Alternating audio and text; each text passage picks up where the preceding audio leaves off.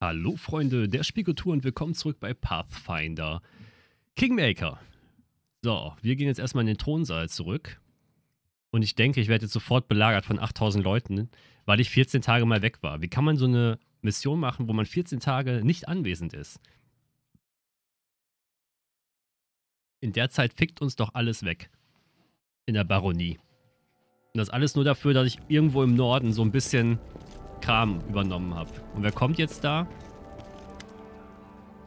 Der Mann, der vor dir steht, stinkt förmlich nach Eitelkeit. Seine schwarzen Haare sind gelockt, frisiert und großzügig gewachst. Und nicht nur sein Haupthaar, sondern auch sein spitzer Schnurrbart. Seine Wangen und seine Stirn sind weiß gepudert und was ihn leichenblass aussehen lässt. Seine Hand ruht locker auf dem goldenen Knauf seines Degens. Als er sich nähert, macht er ein, feine, ein fieses, verschlagenes Gesicht auf seinem Gesicht. Moment, als er sich nähert, macht sich ein fieses, verschlagenes Gesicht breit auf seinem Gesicht. Verschlagenes Grinsen auf seinem Gesicht breit. Ganz offenbar im Voraus einstudiert und geübt. Ach, der Herrscher über dieser Baronie. Eure Aufmerksamkeit schmeichelt mir, Sir Stefan Mosconi von Pittax zu euren Diensten. Der Mann verneigt sich.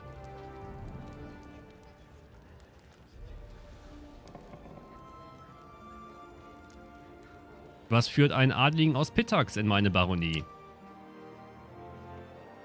Ich war nur auf der Heimreise ins glorreiche Pittax nach einem Besuch in Restorf. Alles im Diensten von König Castruccio Irovetti. Ich dachte, ich könnte einen Tag darauf verwenden, die Hauptstadt des kühnen neuen Nachbarn von Pittax zu begrüßen. Sir Stefano schnaubt verächtlich und grinst dann. Ich muss sagen, ich hätte mir die Mühe sparen können, es lohnt sich nicht wirklich.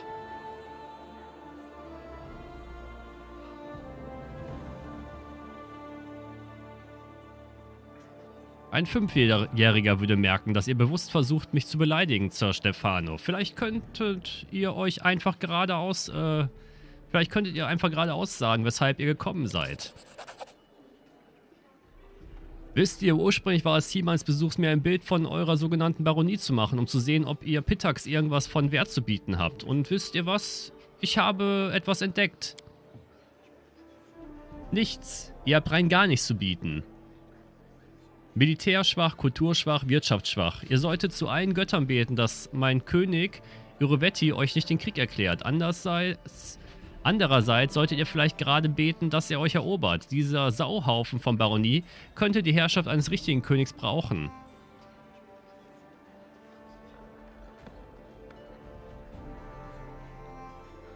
Vielleicht liegt in euren Worten etwas Wahres, doch meine Baronie ist noch sehr jung. Hier wird schon bald alles anders sein. Wenn sich hier jemals etwas ändert, dann die Anzahl der Dungfliegen. Und die wird zunehmen. Ach, nun, ich werde dieses Gemetzel nun beenden. Es hat keinen Sinn, gegen jemanden zu kämpfen, der völlig wehrlos ist. Alles Gute euch. Was ein Arsch. Kommt jetzt noch einer?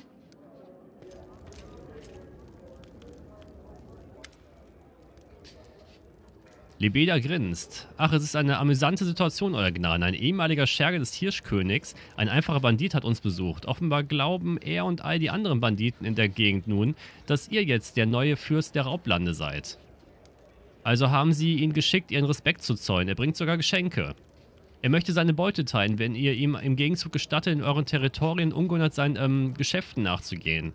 Es ist keine schlechte Lösung. Die Banditen werden sicher großzügig für das Recht bezahlen, private Steuereintreiber zu sein. Natürlich könnte das Ausland im einigen... Das im Ausland... Moment. Natürlich könnte das im Ausland einige als organisierte Erpressung werten. Aber was scheren uns diese Spieße aus Brevoy?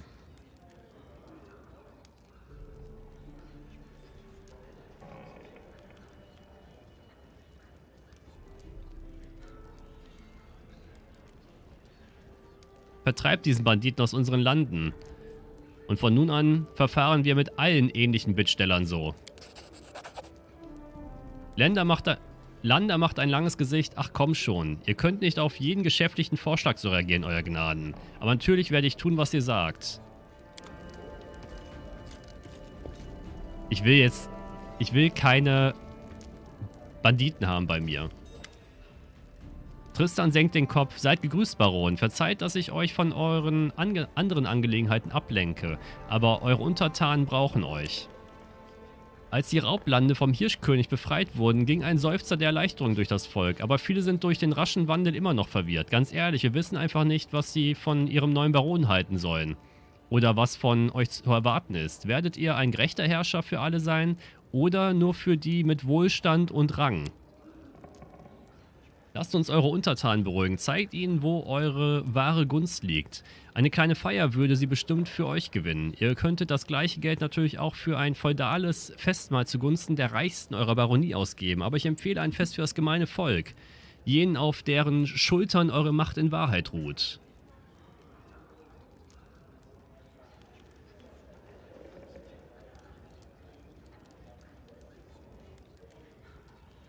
Trefft die Entscheidung selbst. Für mich spielt es keine Rolle, wem wir unsere Gunst gewähren.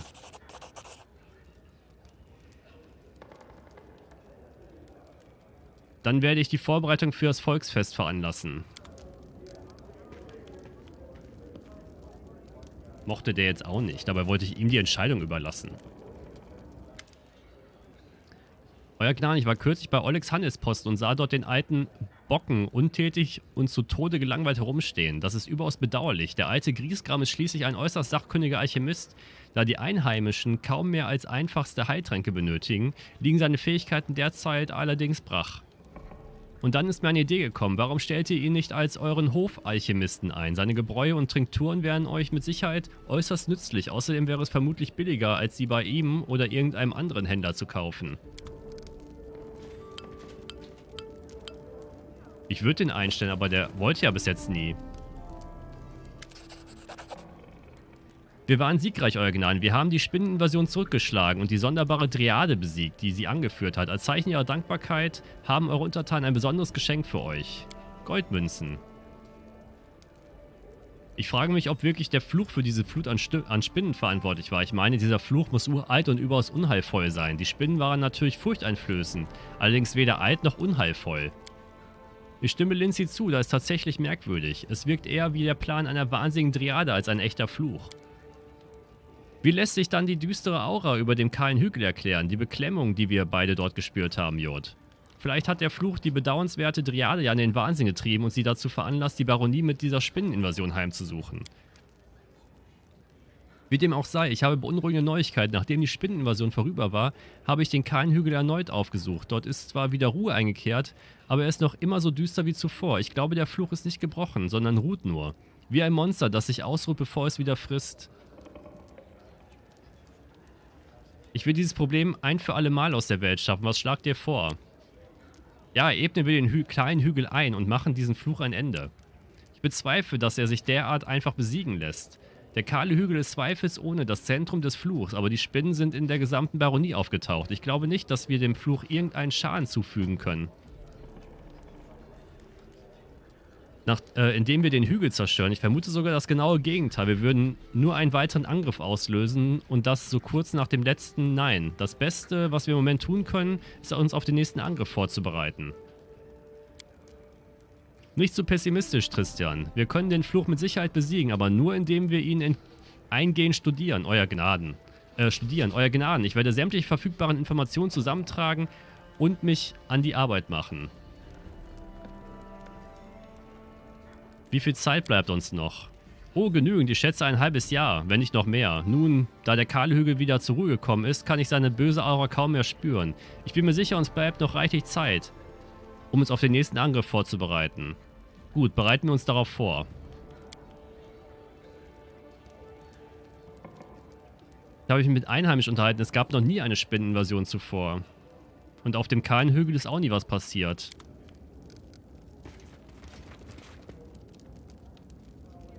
Ich muss mal eben kurz meinen Hund zur Resort bitten, weil der meinen Schuh frisst.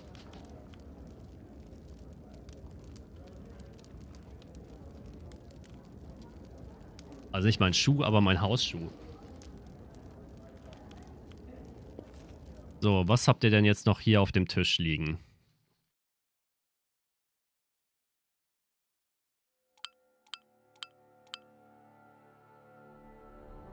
Der Berater und der Baron werden sich 14 Tage lang einem Sonderprojekt widmen.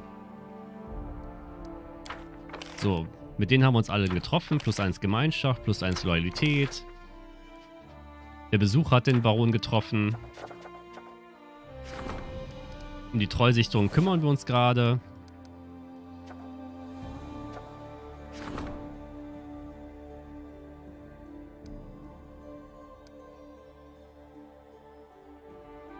Damit werden wir die Gemeinschaft um eins erhöhen.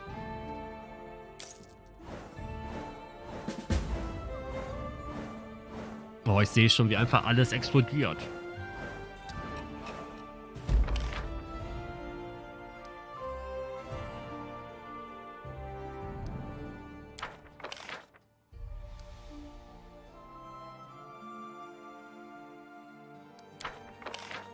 So, Fehlschlag. Du hast keinen Berater zugewiesen. Der Tuchhändler ist weitergezogen. Äh, mit dem Handwerker, der war ein Erfolg, dass der da bleibt.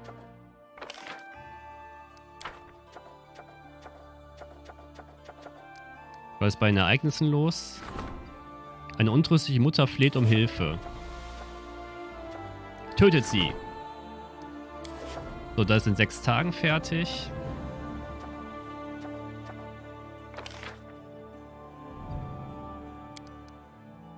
Der ist noch mit dem mysteriösen Unkraut dran.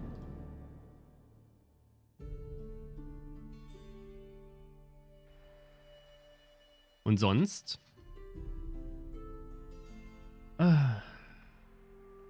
Das Verwalten eines Reiches ist schon erschreckend anstrengend.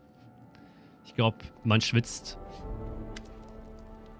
so eine Bauernsfrau mit tränenüberströmtem Gesicht kommt auf dich zugelaufen. Ach, euer Gnaden, weh mir, ich durchlebe meine dunkelste Stunde. Ihr seid meine letzte Hoffnung. Bei allen Göttern, zu denen ihr je gebetet habt, bitte lasst mich in meiner Not nicht allein. Ich heiße Jenna Jenna Tennyson. Unser Dorf ist ganz in der Nähe. Vor zwei Tagen ist mein Junge fortgelaufen, Tick. Und ich habe ihn seitdem nicht mehr gesehen. Wir haben gesucht und gesucht, aber vergeblich. Wenn ihr ihn nicht findet, findet ihn niemand. Habt ihr eine Ahnung, wo er sein könnte? In der Nalmark lebt eine alte Hexe, eine Sumpfhexe. Ich werde ihren Namen nicht laut aussprechen, fragt gar nicht erst. Der bloße Gedanke an sie lässt mir das Blut in den Adern gefrieren. Sie hat den bösen Blick und sie isst Menschen. Sie verwandelt sich sogar in einem schwarzen Raben und steigt auf, auf in den Himmel. Es ist so klar wie der Tag, dass sie meinen Jungen beraubt hat. Äh, geraubt hat. Verschwinden hier denn häufiger Leute? Jep, tun sie. Hier gibt es so viele tödliche Gefahren.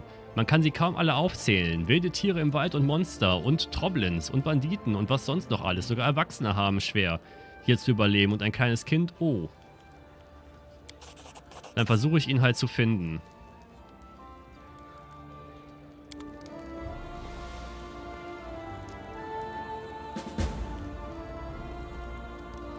Dann muss ich bestimmt auch noch selbst machen, ne? Der berühmte Entdecker ist die ganze Zeit da in dem Flussfjord am Hocken.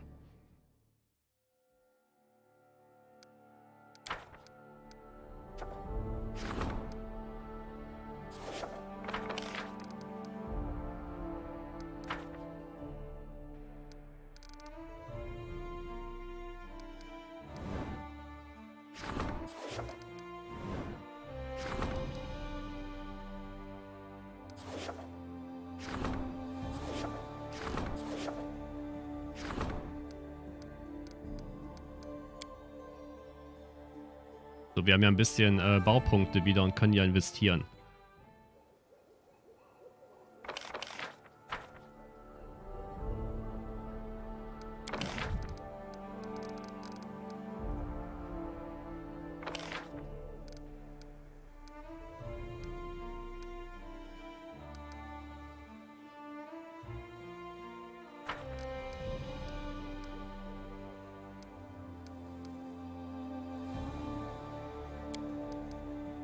Das wäre Platz für die Windmühle gewesen, ne? Ja, so eine Scheiße.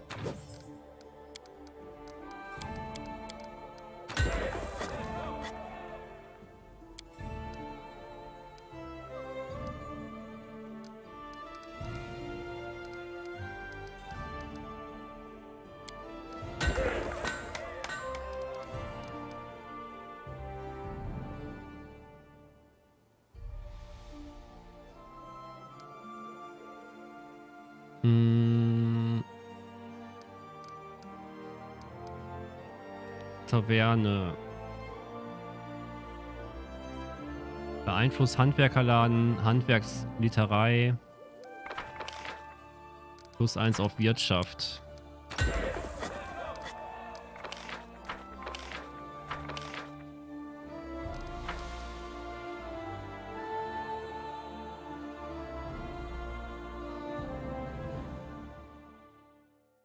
So habe ich mein Haus nicht verlassen. Aber jetzt suchen wir mal den Jungen und wir können die Trolle suchen.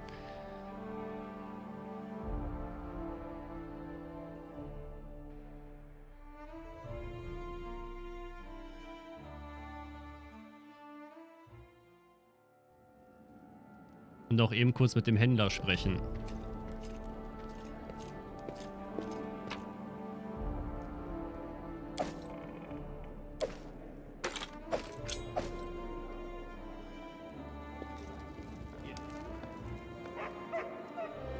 Wuff, wuff.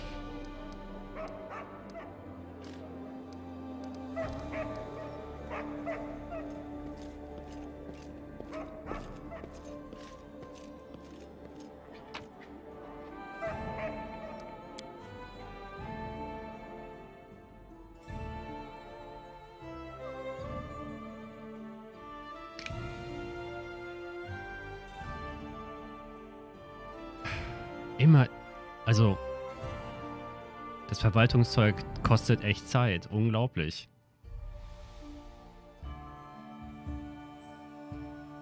Ich habe das Gefühl, dass ein Viertel meiner Zeit einfach nur beim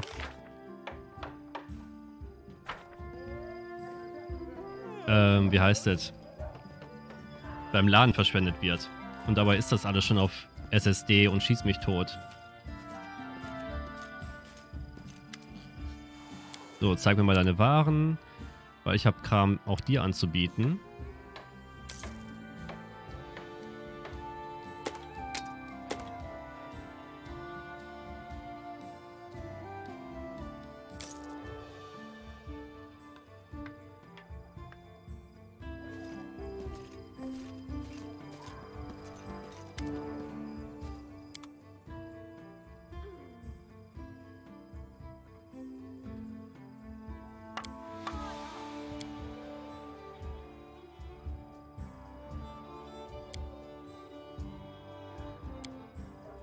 Rezept kopieren, nichts passiert.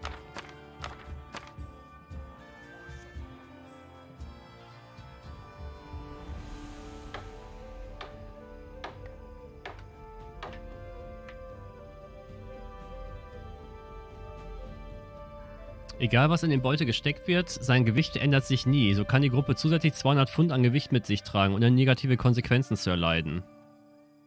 Für 25.000.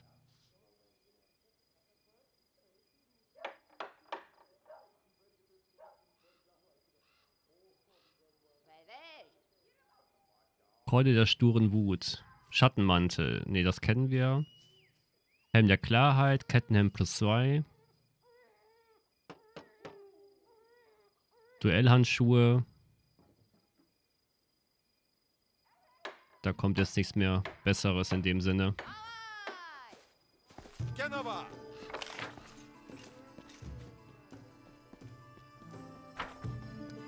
Dann raus hier. Traue die, äh, trau die Leute zusammen.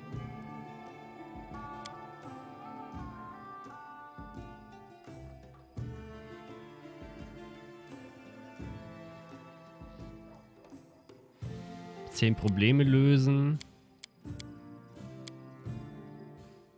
So. Da müssen wir einen Alchemisten aus dem Norden noch holen. Das Kind wird eh schon tot sein was wir finden sollen. Bis ich das in dem riesigen Gebiet da finde, im äh, Westen, ist das wahrscheinlich schon viermal gegessen worden von der Hexe.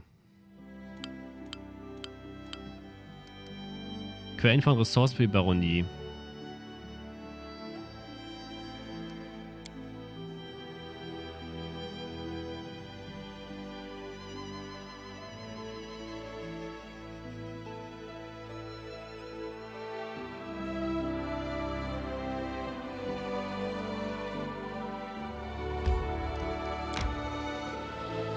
Wir erstmal dahin und beanspruchen das für uns. Und jetzt haben wir schon wieder irgendwas, was im Königreich passiert.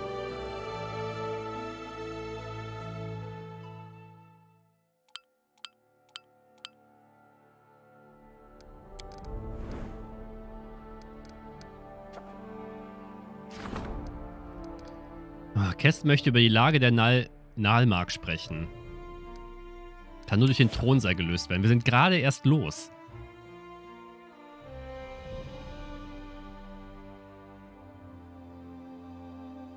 Habe ich doch einen meiner Leute damit beauftragt, aber der wird wahrscheinlich keinen Erfolg haben damit.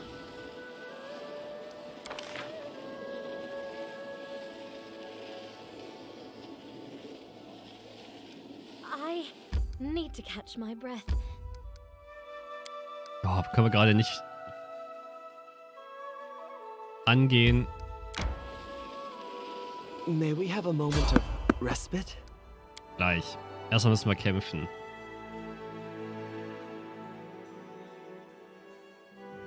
Das nächste, was ich bauen werde, ist ein Helikopterlandeplatz. Und dann sollten wir. Helikopter entwickeln. So, und jetzt pick den Baden.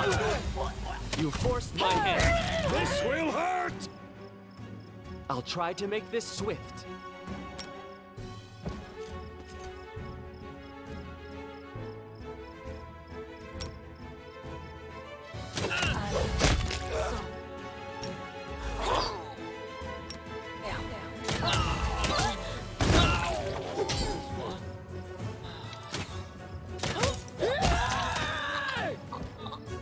Sehr schön. Bevor Octavia zerstückelt wurde, haben wir die noch auseinandergenommen.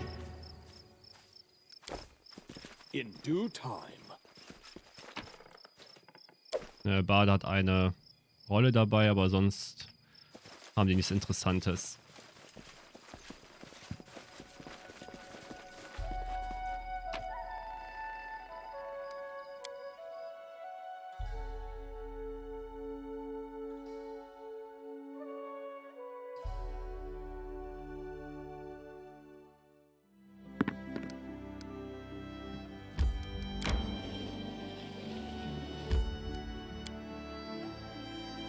Das ist übrigens meine, meine, also mein separates Dorf, was ich jetzt gebaut habe. Aber ich denke mal, es wird von der Örtlichkeit genauso sein wie alle anderen, oder? In due time. Hallo, euer Gnaden.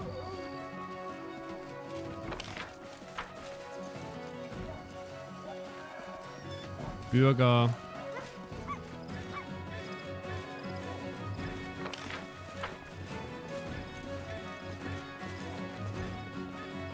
Tja, wunderschön. Schön, dass wir mal da waren.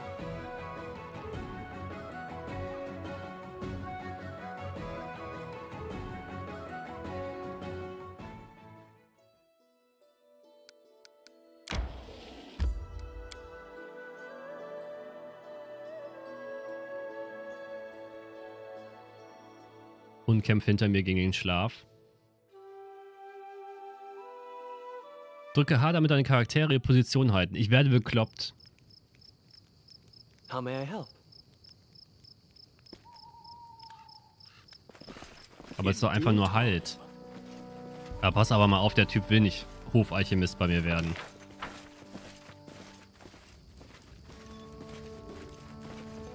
Der Bocken. Bocken, wie würde, würde, mein Gott, Bocken, wie würde es euch gefallen, mein Hofalchemist zu werden? Hofalchemist ich? Das wäre mal was Neues. Also schön, komme was wolle, ihr wart gut zu mir. Habt diesen verdammten, diese verdammten Spinnen getötet und einem alten Mann einige Bären gebracht. Ich werde für euch arbeiten. Nur noch eine Sache. Ich brauche ein neues Labor. Ich muss schließlich irgendwo meine Flaschen und Zutaten aufbewahren. Eine Werkstatt, ja. Und was mich angeht, macht euch keine Sorgen. Ich werde meinen Teil beitragen. Sehr schön.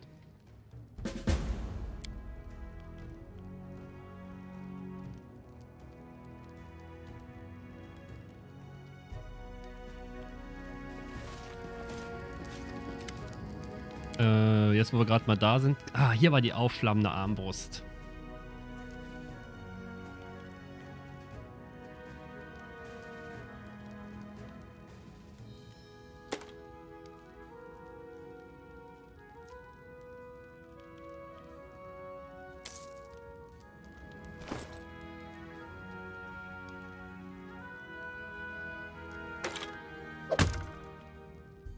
Kannst du die aufflammende nehmen und du nimmst die leichte Armbrust plus 1.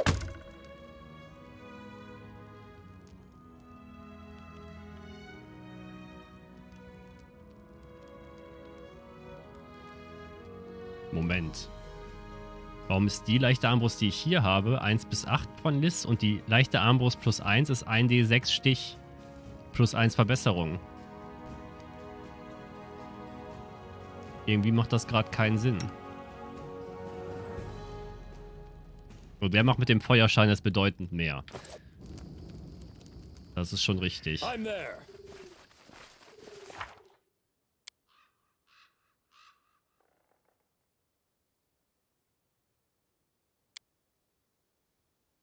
So, uralter Fluch. Hm. Aber das verschwundene Kind könnte auch mit den Trollen zu tun haben und nicht wirklich mit den...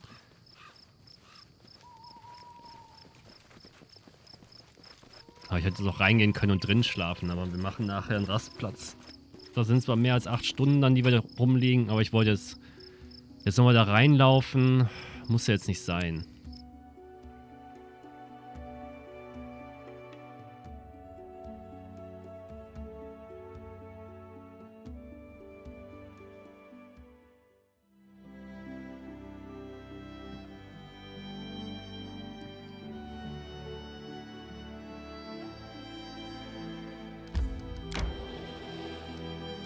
Ja, ich möchte eben rasten.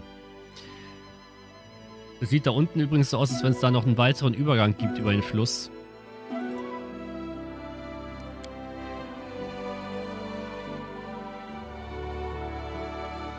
Hier irgendwo. Oder wir gehen über den Dornenfurt rüber.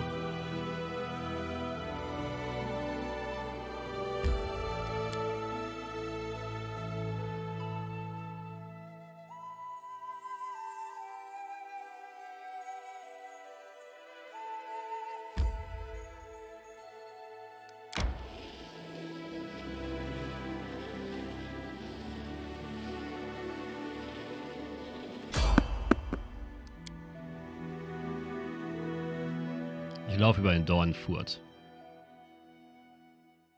Kann ja nur Tage dauern, bis wir den Jungen finden. In due time. Their life you ends right. here. Ach, zwei Winzlinge. Vor allem schön, dass die Flammenarmbrust aussieht. Ähm, als wenn das Holz brennt. I'm there.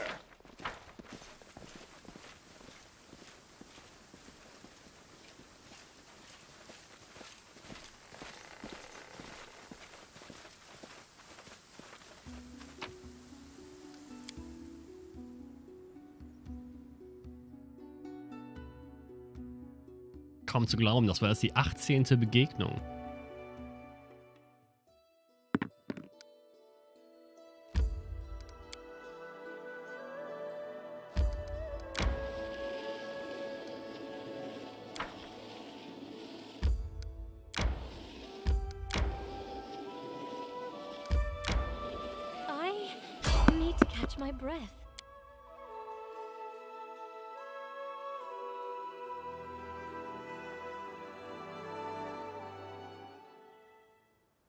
Hallo?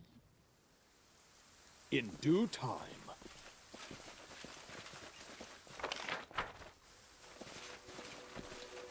Hallo, gibt's hier Feinde? This Ja, Banditen da vorne.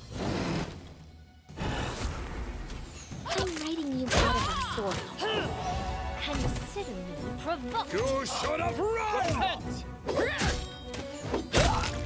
You forced my hand.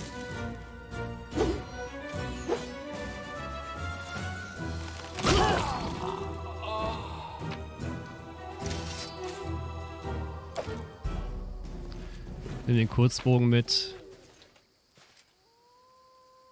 Den Kompositbogen. Sind das wenigstens 150 Münzen. Boah, ich bin König. Kann ich nicht einfach meiner Münzprägerei sagen, produziert Gold für mich? Vor allem, wo sind meine Steuereinnahmen?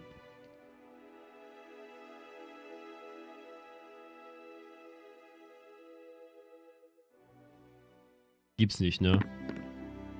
Steuern habe ich noch nicht erfunden.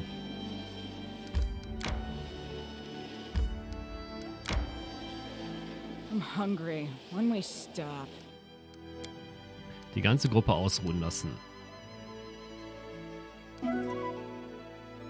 Tja, und jetzt bei der Suche des Kindes oder der Trolle, was zuerst getroffen wird, werden wir uns dann morgen wiedersehen, wenn es weitergeht mit Pathfinder Kingmaker. Mal gucken, vielleicht kann ich der Begegnung mal ausweichen. Sehr schön. Muss mir nicht immer sein. Und bis dahin sage ich erstmal Tschüss, Freunde. Bis dahin. Und danke fürs Zuschauen.